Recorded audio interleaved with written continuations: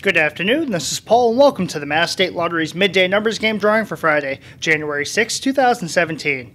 You've got one more day to get your lottery season tickets at a discounted rate. Be sure to stop by your local lottery retailer today. And don't forget your tickets for tonight's drawings. Our Mega Millions jackpot for this evening is an estimated $117 million. Now